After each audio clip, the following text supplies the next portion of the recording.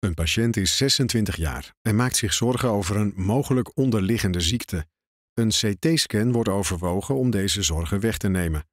Deze CT-scan maakt echter gebruik van ioniserende straling die kanker kan veroorzaken.